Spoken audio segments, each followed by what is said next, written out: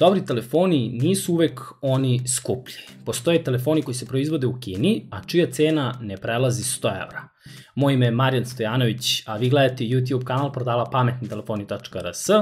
U današnjem videu ćemo govoriti o najboljim kineskim telefonima, čija cena nije viša od 100 evra. Pre tačno godinu dana smo takođe pravili listu najboljih kineskih telefona.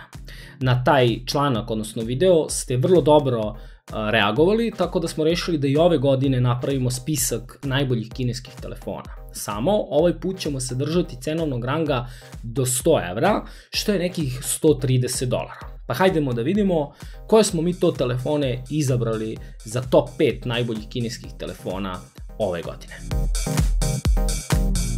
Ovo je jedini telefon sa liste koji za desetak dolara izlazi iz cenovnog ranga, ali mi nismo mogli da ga ne uvrstimo jer se radi o fantastičnom uređaju. Mnogi vlasnici Li Eco Cool 1 telefona govore kako nisu imali toliko poverenja pri samoj kupovini i da su se bojali da će se pokajati. Međutim, glasno i jasno su po forumima isticali da su se samo nakon par nedelja vezali za telefon i uduševili njime. Što se dizajna tiče, nije nam potreban niko kako bi zaključili da se radi o vrlo privlačnom telefonu. On je u celosti metalan i prilično tanak, da se razumemo. Nije previše tanak, ali za jedan telefon koji ima bateriju kapaciteta čak 4060 mAh, 8,2 mm nije previše. Njegove specifikacije nisu uopšte naivne pokreće ga Snapdragon 652 chipset koji podrazumeva procesor od 8 jezgra, takta 1,2 GHz i 1,8 GHz.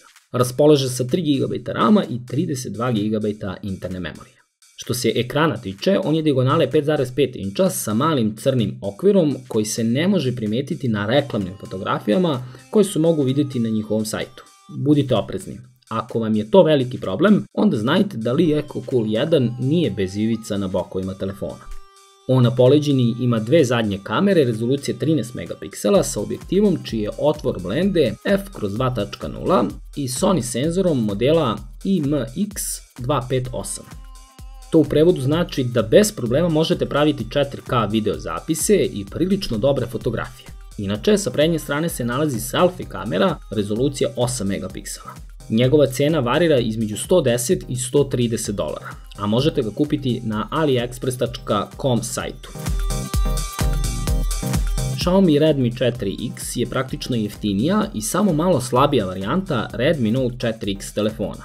On dolazi sa ekranom čija je diagonala 5 inča, što ga takođe čini drugačijim od Redmi Note 4X modela, iako im je naziv vrlo sličan. Ispod haube se nalazi Snapdragon 435 chipset koji je uz 2 GB RAM sposoban da pristojno iznese sve zahteve prosečnog korisnika. Tu je i 16 GB interne memorije koja se može proširiti putem microSD kartice. Na poliđeni se nalazi vrlo odazivan čitač otiska prstiju i kamera čiji je senzor rezolucije 13 megapiksela, sa objektivom čiji je otvor blende f kroz 2.0. Prednja, selfie kamere rezolucije 5 megapiksela. Jedna od većih prednosti ovog telefona je njegova baterija kapaciteta 4100 mAh kao i 4G povezivost. Cena mu varira između 110 i 130 dolara, a možete ga takođe kupiti na aliexpress.com sajtu.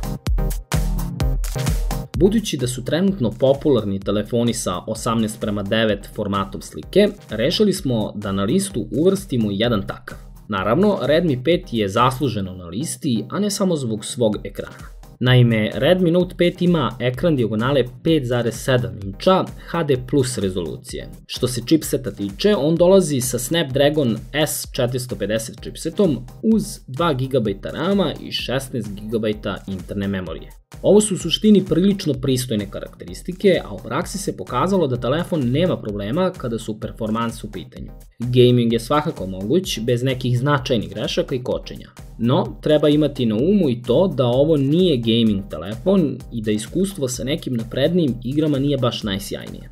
Na poliđini se nalazi kamera rezolucije 12 megapiksela sa objektivom čiji je otvor blende f kroz 2.0. Kamera je sposobna da snima usporene snimke sa 120 frameova po sekundi. Sa prednje strane boravi i pristojna selfie kamera rezolucije 5 megapiksela. Što se baterije tiče, ovaj put se Xiaomi odlučuje za malo manji kapacitet. Tačnije, baterije Xiaomi Redmi 5 telefona je kapaciteta 3200 mAh. Super je to što ga pokreće Android 7 Nougat sa MIUI 9 korisničkim izgledom. Naravno, tu je 4G povezivost za brz protok interneta preko SIM kartice. Očigledno je da ovde imamo fokus na ekran i njegov format sam kvalitet ekrana kada je u pitanju prikaz slike u skladu sa cenovnim rangom, ali bitno je da imamo izbor telefona koji podrazumeva pristojne karakteristike i modern ekran. Cena mu varira između 130 i 140 dolara, a možete ga kupiti na aliexpress.com sajtu. Ovo je još jedan vrlo zanimljiv telefon, čija je cena daleko niža od svih do sada pomenutih modela. No, iako mu je cena niža, vrlo je popularan među kupcima. Zašto? Pa, Kako se šuška po internetu, ne postoji ništa povoljnija pouzdanije. Redmi Note 5a ima Snapdragon 425 chipset koji podrazumeva procesor sa 4 jezgra, takta 1,4 GHz. Na raspolaganju je i 16 GB interne memorije za skladištenje podataka, koja se inače može proširiti putem microSD kartice. Gaming naravno nije tako fluidan, pogotovo sa naprednim 3D igricama, ali je svakako moguć primećuje se tu i tamo po neki zastoj, odnosno frame drop. Budući da je jeftiniji, izrada telefona je od plastike. Doduše, Xiaomi je to vrlo kvalitetno obavio sa slojem metalik farbe koja sjajno imitira metal. Moramo pohvaliti i njegov uzak struk od 7,7 mm, što je super. Ekran mu je diagonale 5,5 inča HD rezolucije. Međutim, kamere su mu prilično dobre. Ne zaboravite, on vredi svega 87 dolara, što je nekih 71 evra. Ovaj telefon vam verovatno neće niko ni ocariniti koliko je poveljan. Dakle, zadnja kamera je rezolucije 13 megapiksela sa objektivom čiji otvor blende f kroz 2.0 tu je i fazni autofokus, što bi trebalo da pomogne pri okidanju fotografija i snimanju videozapisa. Prednja selfie kamera je rezolucije 5 megapiksela, čiji otvor blende takođe f kroz 2.0. Korisnici koji koriste ovaj telefon duže vreme se najviše hvale baterijom Redmi Note 5a telefona i njegovim kamerama. Tvrde kako su fotografije neočekivanog kvaliteta i da baterija kapaciteta 3080 mAh može prilično dugo da izdrži. No, govori i to kako video zapisi i nisu baš najbolji. Redmi Note 5 dolazi sa Android 7 Nougat operativnim sistemom koji je presvučen najnovijim MIUI 9 korisničkim izgledom. Super je to što su već dostupne neke zakrpe koje poboljšavaju performanse i kvalitet kamera Redmi Note 5a telefona. Inače, i ovaj model posjeduje 4G LTE povezivost za one kojima je to bitno. Cena mu varira između 90 i 100 dolara, a možete ga kupiti takođe na aliexpress.com sajtu. I za kraj smo ostavili futurističan model koji navodno treba da zadovolji one koji su zaljubljeni u Galaxy S8, a nisu u mogućnosti da ga priušte. U pitanju je jedan od najpovoljnijih telefona sa ekranom čiji je format 18 prema 9, a da pritom vredi čemu. Ekran mu je prilično dobro određen sa dijagonalom 5,7 inča i HD plus rezolucijom. Ivice na bokovima su vrlo tanke, nije da ih nema, ali su vrlo tanke što upotpunjuje to korisničko iskustvo. Takođe, preko ekrana se nalazi 2.5D ARC zakrivljeno staklo. Ono gde je Ulefone štedeo kod Mix 2 modela je chipset.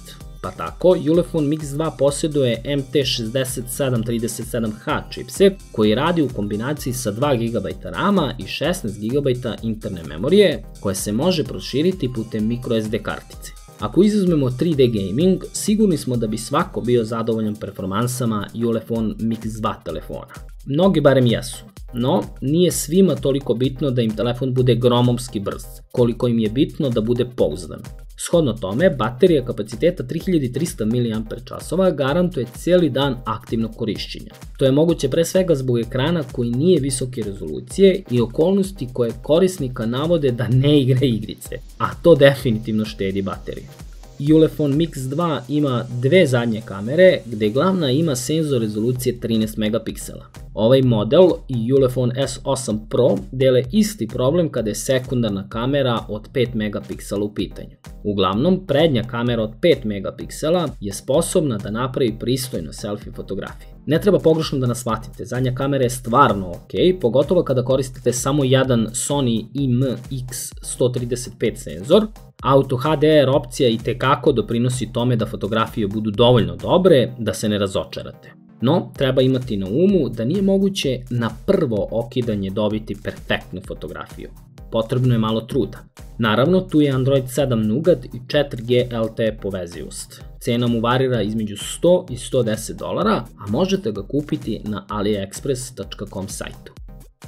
To bi bilo to. Želeli bismo da iskoristimo priliku i da se ljudima iz Polarotor emisije koja se emituje na Kopernikus televiziji zahvalimo na dosadašnjoj saradnji. Veliki pozdrav za Dragana Ćosića i za sve ljude iza kamere. List u suštini ne sadrži one telefone koji samo izgledaju bombastično, dok sa druge strane ne pružaju ni pola od onog što je na papiru. Trudili smo se da uvrstimo samo proverano dobre telefone, koji za svoju cenu pružaju maksimum. Volili bismo da čujemo od vas za koji to telefon smatrate da treba da se nađe na ovu listu, tako da vas molimo da nam u komentarima pišete vaše predloge i mi ćemo blagovremeno ažurirati članak na našem sajtu i uvrstiti te vaše predloge, odnosno uvažiti te vaše predloge i uvrstiti te telefone na listu najboljih kineskih telefona do 100 evra za ovu godinu.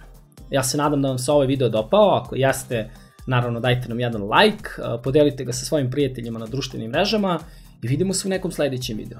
Pozdrav!